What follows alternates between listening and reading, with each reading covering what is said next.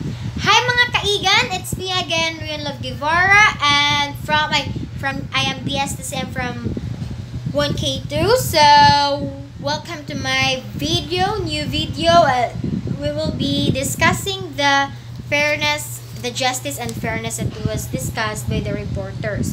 So one of the reporter mentioned the equity and equality.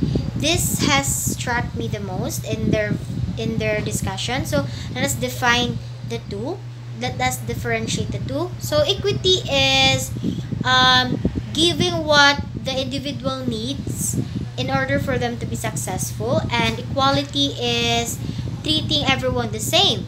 For example, in equity, we have these three siblings.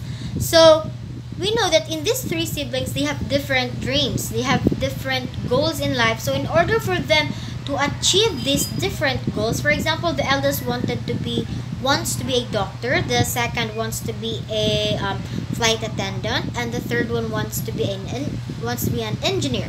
So the parents should give what they need, what education they need in order for them to um to achieve these goals. Like for some of the doctors, so th- so the parents should enroll them to the medicine. The other one is tourism because she or he wanted to be a flight attendant. Engineering, he should enroll in engineering. So that is equity.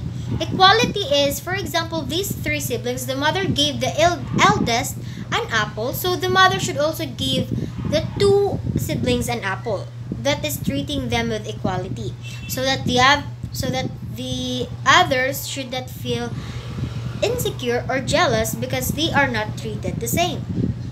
That is all in this video. I hope you guys um learned something and see you in my next video. Bye.